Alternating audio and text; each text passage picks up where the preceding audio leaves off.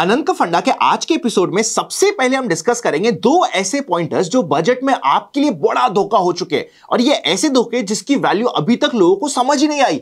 अभी तक उन्हें समझ ही नहीं आया कि उन्हें कितना बड़ा लॉस हुआ है या उन्हें कितनी बड़ी मार पड़ी है। डिटेल में समझ जाता हूँ आपको बहुत सिंपल लैंग्वेज में आप समझ जाओगे। सबसे पहली बड़ी मार जो अभी तक किसी की नज़र में आई नहीं, वो है प्रॉपर्टी के ऊपर। देखिए प्रॉपर्टी में अभी तक क्या होता था? सपोज़ करते 20 साल पहले आपने कोई प्रॉपर्टी परचेस करी, उस प्रॉपर्टी को इंडेक्सेशन की वैल्यू से बढ़ाया जाता था। इंडेक्सेशन की वैल्यू क्या होती है? रफली आप ये मान लीजिए कि इन्फ्लेशन की वजह से जितनी उस प्रॉपर्टी की प्राइस बढ़ गई, उसे बढ़ाया जाता था। सपोज़ करते एक करोड़ की प्रॉपर्टी थी बढ़ते बढ़ते उसकी प्राइस हो गई है डेढ़ करोड़ की। जब आप बेच रहे हो, जितना भी आपको प्रॉफिट होगा, डेढ़ करोड़ के ऊपर से उस पर ही आपको टैक्स लगेगा। वरना जो एक से डेढ़ करोड़ के आसपास का आपका गेन हुआ है, उसे इन्फ्लेशन एडजस्ट मानते हुए आपको कोई भी टैक्सेशन नहीं लगेगा। अब सरकार ने क्या कहा? सरकार ने कहा, जो इंडेक्स वैल्यू लगाते हो ना, एक की जगह डेढ़ करोड़ हो गई, ये बड़ा कंफ्यूजन होता है। इस कंफ्यूजन को हटाओ। अब सीधा आपको जितना भी प्रॉफिट हो रहा है, उसमें फ्लैट साढ़े बारह परसेंट का टैक्स पे कर दो। पहले तो आपको बीस परसेंट का पे करना पड़ता था, अब साढ़े बारह परसेंट का पे करो। और ये है आपके लिए नुकसान का सौदा, मैं समझाता हूँ कैसे। देखिए, अभी तक मेजोरिटी केसेस में क्या होता है, जो आपकी प्रॉपर्टी होती है वो या तो रेजिडेंशियल प्रॉपर्टी होती है और रेजिडेंशियल प्रॉपर्टी में अप्रिसिएशन काफ़ी कम होता है। अप्रिसिएशन यूजुअली इंडेक्स वैल्यू के आसपास होता है या फिर उससे हल्का फुल्का ज़्यादा होता है। मतलब ऐसा कोई मेजर अप्रिसिएशन नहीं होता कि 10 परसेंट, बारह परसेंट, पंद्रह परसेंट का सीजी रिटर्न मिल रहा है। ऐसी बहुत कम रेजिडेंशियल प्रॉपर्टी अभी तक हमें देखने को मिलती है। और अगर मिलती भी है तो हमें मानना पड़ेगा। देखो, ये ऑफिशियली मैं बोल नहीं सकता, पर जो बुक्स में दिखती है, मैं तो उस गेन की बात कर रहा हूँ। ओवर द बुक्स आप क्या करते हो? उसका कोई फ़र्क नहीं पड़ता। बुक्स में आपकी क्या गेन हो रहा है? वो इंपॉर्टेंट है।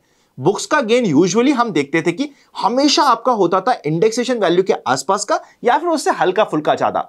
तो आपको जो इंडेक्सेशन का बेनिफिट मिलता था, उसके बाद आप जो टैक्स पे करते थे, वो काफ़ी कम पड़ता था। अब क्या होगा? सपोज़ करते एक करोड़ की प्रॉपर्टी आपने डेढ़ करोड़ में बेची ऑल दो इंडेक्सेशन के बाद उसकी वैल्यू एक चालीस या एक पैंतालीस हो रही थी, पर जस्ट बिकॉज़ अब इंडेक्सेशन की वैल्यू हट चुकी है, आपको पूरे पचास लाख के गेन के ऊपर टैक्स पे करना पड़ेगा। और यह काफ़ी नेगेटिव हो जाएगा प्रॉपर्टी के इन्वेस्टमेंट के लिए प्रॉपर्टी वालों के लिए। अब होगा उल्टा क्या? या तो लोग प्रॉपर्टी में काम करना कम कर देंगे, वरना जो कैश में काम करते थे, वो ज़्यादा प्रमोट होगा उल्टा। हम चाहते कि कैश में काम ना हो तो हमें टैक्सेशन कम करना चाहिए। अब इतना भारी टैक्सेशन लगा दिया जाएगा और इतना सारे डीलिंग होगी और इतना महँगा पड़ेगा व्हाइट में काम करना तो लोग बोलेंगे, छोड़ यार व्हाइट में नहीं मैं तो कैश में कर लेता हूँ which is very wrong for us for economy for for a logical person की नहीं यार, मैं व्हाइट की मेरी वेल्थ नहीं क्रिएट करूँ it is very wrong but जब इतना मेजर टैक्स होगा तो ये एक नेगेटिव हो जाता है प्रॉपर्टी इन्वेस्टर्स के पर्सपेक्टिव से। और एक आधा घर तो हर किसी के पास होता ही है। उसको जब आप बेचोगे, तब आपको एक्चुअल दर्द पता चलेगा कि हुआ क्या। सेकेंड पॉइंट बताता हूँ आपको, जहाँ पे आपके साथ मार पड़ी है। वैसे तो आपके लिए सस्ता हो गया है गोल्ड गोल्ड में हुआ क्या है? पंद्रह परसेंट का लगता था इंपोर्ट ड्यूटी अब हो गया है छह परसेंट की इंपोर्ट ड्यूटी इससे सबसे पहले समझते हैं फ़ायदा क्या होगा। अभी आप देखते होगे ना, कुछ लोग जाते हैं दुबई या किसी और कंट्री में, वहाँ से जाके गोल्ड परचेस करके लाते ये सोचते हुए देखो, वहाँ पे गोल्ड सस्ता है। अब वो गोल्ड जो सस्ते की वैल्यू बहुत कम रह जाएगी बिकॉज़ इंडिया में ऑलरेडी अब जो इंपोर्ट ड्यूटी लग रही थी, उसे 9 परसेंट से रिड्यूस कर दिया तो आपका इंपैक्ट खत्म हो गया। पर आपके ऊपर नेगेटिव इंपैक्ट क्या हुआ है? कल बैठे बिठाए अननेसेसरी आपके पास जो घर में गोल्ड पड़ा है इंडियंस का आज के दिन सबसे मेजर एसेट क्लास है गोल्ड ऑल हम चाहते हैं कि गोल्ड में लोग इन्वेस्ट कम करें और डिजिटल एसेट्स की तरफ़ जाए, इसलिए तो गोल्ड की जगह हमने गोल्ड बॉन्ड को इंट्रोड्यूस किया सरकार ने. फिर सरकार रेगुलरली कहती है कि भैया गोल्ड छोड़ो, आप digital asset class mutual fund mutual fund सही है म्यूचुअल फंड में एसआईपी करो एसआईपी सही है. ये सब प्रमोट कर रही है ताकि गोल्ड से या और एफडी से पैसा निकले और थोड़ा डिजिटल एसेट क्लास जो एक्चुअल इंडिया की ग्रोथ में हेल्प करता है, वहाँ पे पैसा जाए. अब हुआ क्या? दो चीज़ें हुई, गल गोल्ड में सस्ता करने की वजह से। सबसे पहले, जो आपके पास पैसा पड़ा है गोल्ड में, उसकी वैल्यू अननेसेसरी कम हो गई नौ परसेंट की। अब क्या गोल्ड कोई हर साल बढ़ता है पचास पचास परसेंट नहीं बढ़ता। आप ही देखोगे कि अगले छह साल में भी गोल्ड के जो रिटर्न होंगे, आपको कुछ भी ज़्यादा नहीं मिलेंगे, या एक्सपेक्टेशन बहुत कम हो जाती है बिकॉज़ नौ परसेंट का डेंट तो पड़ गया। आप बोलोगे नौ परसेंट का कैसे? अभी तो डेंट हमें छह परसेंट दिख रहा है। भैया, आपको छह परसेंट का इसलिए दिख रहा है क्योंकि ग्लोबल मार्केट में गोल्ड बढ़ा था अपना बढ़ने की जगह टूटा, पर बढ़ने वाले पॉइंट को भी कैप्चर करते हुए आप देखोगे तो रफली सात आठ नौ परसेंट का आपको इंपैक्ट वहाँ पे मिल गया है। तो ये हुआ है सबसे पहले कि जिनके पास गोल्ड पड़ा था, उनकी वैल्यू बैठे बिठाए बिना कुछ करे कम हो गई। सेकेंडली अब जो गोल्ड परचेस करने वाले हैं, अब आप सोच के देखिएगा, हम एक तरफ़ चाहते हैं कि इंडिया में लोग डेड एसेट्स जैसे कि गोल्ड, एफ़ कम करें और डिजिटल एसेट्स, चाहे वो म्यूचुअल फंड्स हो, इक्विटी हो, न्यू एज एसेट्स हो, जो इंडिया में एक्चुअली ग्रोथ में हेल्प करता है, उसमें ज़्यादा निवेश करें। उसी की जगह जहाँ पे हम निवेश करवाना चाहते हैं लोगों को, उसको तो महँगा कर दिया और जहाँ से पैसा निकलवाना चाहते हैं लोगों का, उसे सस्ता कर दिया। अब आप ही बताओ कि गोल्ड में लोग इन्वेस्ट करेंगे या फिर इक्विटी में इन्वेस्ट करेंगे, आपके पास ऑप्शन हो जाता है। ऑल दो लॉन्ग टर्म इन्वेस्टर अभी भी बोलेंगे कि भैया मैंने म्यूचुअल फंड किया है बीस साल के लिए, जिस समय टैक्स लगेगा उस समय सोचेंगे। पर आप सोच के देखो अगर अभी उन्होंने ये सोच लिया कि भाई मुझे म्यूचुअल फंड में टैक्सेशन बढ़ाना है लॉन्ग टर्म इक्विटी टैक्सेशन बढ़ाना है, क्या सिर्फ़ वो एक बार बढ़ा रहे हैं कि साढ़े बारह परसेंट कर दिया, बात खत्म, अब नहीं बढ़ाएँगे आने वाले दो तीन सालों में? ऐसा नहीं है। वो ट्रेंड शो कर रहे हैं जो लॉन्ग टर्म ट्रेंड के अगेंस्ट में आपको हमें अपनी बात रखना।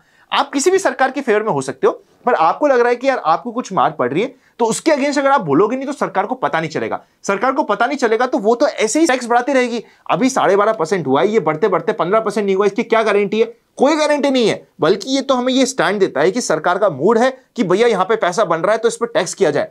मैं तो सिंपल सी बात ये कहता हूँ, पैसा बन रहा है, पर एंड में आ तो इकोनॉमी में रहा है, आ तो कंपनीज़ के पास ही रहा है। तो वहाँ पे अननेसेसरी और टैक्स बढ़ाने की ज़रूरत नहीं थी। तो इसके अगेंस्ट हमें अपनी बात रखना बिल्कुल रिस्पेक्टफुल मैनर में इंपॉर्टेंट होता है। पर गोल्ड में जो टैक्सेशन रिड्यूस हुआ है गोल्ड सस्ता हुआ है, उसकी वजह से इवेंचुअली गोल्ड प्रमोट होगा।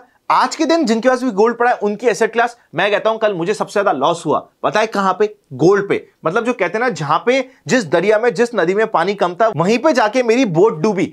ऐसा कुछ सीन हो गया मेरे साथ बट वो सभी के साथ हुआ, पूरे इंडिया के साथ हुआ, और मेजोरिटी लोगों को अभी तक समझ ही नहीं आया कि उनके साथ हुआ क्या। तो ये दो पॉइंट आप समझिएगा, जो मेजर नेगेटिव है। मैं ये नहीं कह रहा कि पॉजिटिव नहीं थे पॉजिटिव भी आए बजट में कुछ, जैसे कि हमारा फ़िज़िकल डेफिसिट कंट्रोल में है, हमारा जो हम एक्सपेंडिचर कर रहे हैं कैपेक्स पे वो काफ़ी अच्छा है और वो कंटिन्यू हो रहा है। रोड्स बनाने की बात करी जा रही है। कुछ स्टेट्स के लिए तो बंपर बजट था, चाहे वो आंध्र प्रदेश हो, बिहार हो, ऐसा लगा कि वो तो जवाई बन के आए थे इस बजट में, उनको तो बहुत भर भर के मिला, जो इवेंचुअली अच्छा भी अगर वो यूटिलाइज होता है। देखो, अगर वो पैसा यूटिलाइज नहीं हो रहा, किसी की जेबों में जा रहा है तो आप जानते हो उसका क्या हाल होगा, पर अगर वो यूटिलाइज हो रहा है तो उन सारे स्टेट्स के लिए काफ़ी अच्छा है। हमारे नेशनल कॉरिडोर्स बनाने की बात हुई है, कुछ नए टेम्पल्स की बात हुई है, बात हुई कि किस तरीके से रोड की कनेक्टिविटी को बढ़ाया जाए। पर एट दी सेम टाइम आपको शौक होगा कि रेलवे के रिलेटेड कुछ बात ही नहीं हुई, पर आई एम अज्यूमिंग कि जो पिछले बजट में रेलवे में कहा था, उसी को कंटिन्यू किया जाएगा, ज़्यादा वहाँ पे कुछ अपडेशन नहीं है। तो ओवरऑल बजट में कोई दिक्कत नहीं थी पर जो आखिरी की दस लाइनें थी स्पेशली टैक्सेशन के रिलेटेड वहाँ पे अच्छी मार पड़ी है, जो मैंने आपको एक्सप्लेन किया, और ऐसी मार है, जो धीरे धीरे हमें समझ आएगा कि कितना बड़ा इंपैक्ट आपके ऊपर और हमारे ऊपर हो रहा है। इसी डिस्कशन के बाद अब हम चलते हैं कल की मार्केट की एक्सपेक्टेशंस के ऊपर। चलिए शुरू करते हैं। जनरल मार्केट ट्रेंड अभी भी अप ट्रेंड में है। वॉल्यूम डिस्ट्रीब्यूशन डेज़ बढ़ रहे हैं, पर अभी भी उनका काउंट तीन से नीचे है। Put call ratio point eight three के आसपास है कंफर्टेबल है। अगर पुट कॉल रेशो इवन अगर मार्केट में देखो बैड न्यूज़ आ गई, उसके बाद ही मार्केट टूटता है, पर अगर पुट कॉल रेशो कभी भी पॉइंट सिक्स के आसपास पॉइंट सिक्स फाइव के आसपास चले जाए, फिर हम शॉर्ट नहीं कर सकते। ध्यान रखिएगा इस बात का। एफ़ और डीआईएस का डेटा चेकआउट करोगे तो एफ़ ने कल के दिन तीन हज़ार करोड़ की सेल करी और डीआईएस ने पंद्रह सौ करोड़ का माल परचेस किया। नेट में एफ़ ने अच्छा खासा माल कल के दिन बेचा है। इंडेक्स की बात करेंगे तो आप चेकआउट करिएगा सबसे पहले निफ्टी को। जो हम एक्सपेक्ट कर रहे थे ना कि मार्केट में बहुत बड़ा करेक्शन आ जाएगा, वैसा नहीं हुआ। तो क्या इसका मतलब यह है कि मार्केट ने इस न्यूज़ को पॉजिटिवली लिया? ऐसा कुछ नहीं। कई बार क्या होता है मार्केट को मैनेज किया जाता है। मैनेज क्यों किया जाता है? ताकि ये लगे कि देखो बजट तो अच्छा है मार्केट तो कितना अच्छा है। या फिर कई बार मार्केट कहता है अच्छा तो मुझे तोड़ने के लिए ऐसा बजट लाओ अब तो तोड़वा लो तुम्हें। तो कई बार क्या होता है जो रिएक्शन आता है वो लेट आता है। क्या ये पहली बार है लेट रिएक्शन नहीं 2018 का जाके आप निफ्टी का चार्ट देखिएगा। लेट रिएक्शन आया था दो तीन दिन बाद पर ओवरऑल हम देखेंगे तो अब हमारा स्टैंड क्या होना चाहिए? थोड़ा सा कॉशियस होना चाहिए। इंपॉर्टेंट रहेगा निफ्टी में पॉजिटिव जाने से पहले 24,550 का लेवल जब तक ये नहीं करता मैं बहुत हैंडसम तरीके से पॉजिटिव या फिर बड़ी ट्रेड्स इंटरडे में भी नहीं लूँगा। इस लेवल के आसपास मिलता है तो यहाँ पे हमारे लिए शॉर्टिंग की अपॉर्चुनिटी होती है रिवर्सल की अपॉर्चुनिटी होती है। ऑब्वियसली हमें वहाँ पे स्टॉप लॉस रखना पड़ेगा। 24,600 कट के ऊपर जा रहा है तो वापस से एक बार आपको अल्ट्रा शॉर्ट टर्म के लिए पॉजिटिव होना पड़ेगा कुछ नहीं कर सकते। अगर हल्का फुल्का गैप अप या फिर फ्लैट ओपन होता है तो मैं रिवर्सल की ट्रेड के लिए प्लान करूँगा। नीचे की साइड 24,320 करता है तो एक बार वापस से यहाँ पे शॉर्ट की अपॉर्चुनिटी होती है। मतलब बेसिक माइंडसेट जब तक रेजिस्टेंस ब्रेक नहीं होता एक बार कॉशियस या फिर थोड़ा सा सावधान होकर काम करने का है। बैंक निफ्टी में बात करें तो बैंक निफ्टी में हमारा लेवल था 52,600 का। हम देख सकते हैं कि 52,600 आज ओपन हुआ और वहीं से रिवर्सल आया। ये परफेक्ट रिवर्सल कैप्चर हुआ होगा आपसे आज के दिन अगर आपने कल का एपिसोड देखा होगा। अभी भी हमारा बहुत सिंपल सा लेवल है। 52,600 के ऊपर ही पॉजिटिव होता है। अगर 52,600 आपको दूर लग रहा है तो आप एक बार लेवल नोट कर दीजिए राउंड फिगर का 52,000 52,000 के ऊपर जाएगा तभी हम पॉजिटिव बात करेंगे वरना ये एक रिवर्सल का लेवल होता है। इंपॉर्टेंट लॉस करते हैं तो वापस से यहाँ पर वीकनेस बढ़ती है। बाकी स्ट्रेंथ आप समझ चुके हो। अगर आप म्यूचुअल फंड में इन्वेस्ट करना चाहते हो प्रॉपरली फाइनेंशियल प्लानिंग करना चाहते हो चाहते हो कि आप म्यूचुअल फंड डिस्ट्रीब्यूशन की हमारी सर्विसेज़ लो डिस्क्रिप्शन में और पिन कमेंट पे आपको लिंक मिल जाएगा, जाके चेकआउट कर लीजिएगा। वीडियो अच्छा लगे तो लाइक करे बिना मत जाएगा नए हो चैनल पे तो सब्सक्राइब कर लो। इंपॉर्टेंट वीडियो अभी स्क्रीन पे तो इसको भी चेक करते हुए चले जाएगा सी यू वेरी सुन